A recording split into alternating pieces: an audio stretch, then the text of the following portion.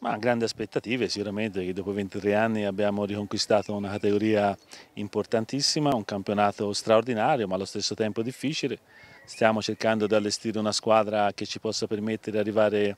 all'obiettivo della salvezza in maniera da consolidare la, la, Serie B, sarebbe importantissimo per noi. Stiamo cercando quei, quei giocatori che abbiano requisiti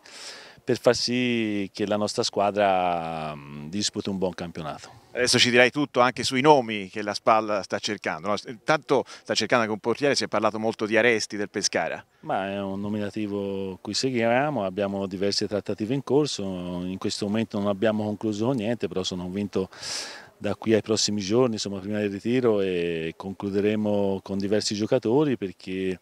eh, bisogna rinforzare questo gruppo e ha fatto benissimo, eh, però insomma, bisogna mettere nella squadra quei giocatori ci possono permettere di crescere sia sotto l'aspetto della tecnica, dell'esperienza e anche sotto l'aspetto morale. Ecco, c'è grande curiosità anche intorno all'attacco, vari nomi sono stati accostati al reparto avanzato della SPAL, si è parlato di Catellani, si parla di Antenucci, eh, sarebbero due attaccanti eccezionali, mi auguro che possano avere alla spalla, però insomma non so che non è semplice, eh, però insomma cercheremo di, come dicevo prima, di allestire eh, una squadra competitiva e ci possa permettere di arrivare all'obiettivo finale. Sicuramente questi sono nomi che farebbero piacere per ogni allenatore, ma anche per soprattutto la società SPAL poter avere a disposizione. Non sarà semplice, però cercheremo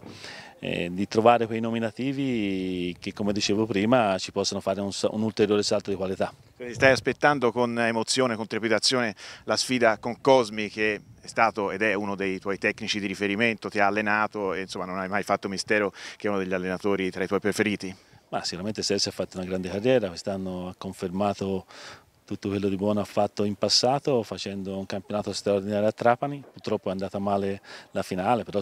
questo non toglie l'ottimo lavoro che ha fatto, sicuramente sarà una bella sfida, è stato mio allenatore, io sono stato un suo giocatore, quindi abbiamo vinto un campionato insieme ad Arezzo e cercheremo magari così di, di, di far bene anche contro un allenatore bravo come lui. Ecco, tu naturalmente eh, sei un allenatore particolarmente bravo anche con i giovani, lo hai dimostrato nel corso degli anni quando hai allenato nei vari settori giovanili, quindi stai avendo anche un occhio di riguardo per i giovani, per la tua SPAL, fermo restando che c'è bisogno anche di giocatori esperti per eh, una categoria eh, che comunque eh, ha la possibilità di mettere in mostra sì i giovani, ma com poi comunque l'esperienza conta? Assolutamente sì, noi anche quest'anno avevamo due o tre giovani importanti e quindi anche l'anno prossimo stiamo vagliando diversi nominativi perché nelle primavere e non solo nelle primavere ci sono dei giovani di grande prospettiva e cercheremo di portarli alla corte della SPAL perché eh, come dicevi te oltre all'esperienza ci vuole anche un po' di gioventù, ci vuole anche entusiasmo sotto tutti i punti di vista per cercare di affrontare questo campionato, ripeto bellissimo ma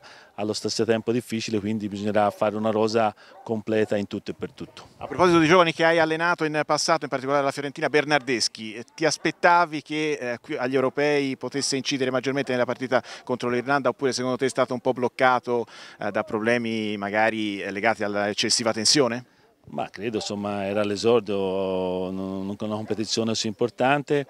eh, purtroppo non ha fatto non bene solo lui ma un po' tutta la squadra, quindi magari in quel contesto non è riuscito a, a far vedere quelle sono effettivamente le sue qualità. Eh, io credo insomma, che abbia un grande avvenire e questo gli possa servire di esperienza, magari si sarà richiamato in causa per cercare di disputare un bel europeo e mi auguro che già da domani possano andare avanti con la Spagna. Un altro giovane che è allenato nella primavera della Fiorentina, Babacar, si parla del suo possibile trasferimento al Sassuolo. Potrebbe essere la destinazione giusta per questo giocatore per mettersi definitivamente in mostra dopo che alla Fiorentina è stato aspettato tanto, però non è riuscito poi a dare eh, il meglio di se stesso. Ma questa cosa mi dispiace perché l'avrei visto volentieri centravanti della Fiorentina, però purtroppo quest'anno per varie eh, problematiche non è riuscito a esprimersi nel migliore modi, credo il Sassuolo sia una squadra eh, forte che sicuramente ha degli obiettivi importanti e possa essere una piazza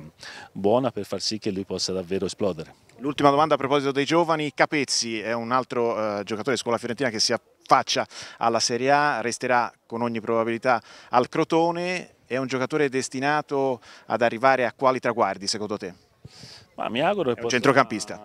possa tornare alla Fiorentina da giocatore importante. Sicuramente in questo momento si è guadagnato la promozione con il Crotone, eh, so che lo vorrebbero tenere e credo insomma, abbia la possibilità di giocare anche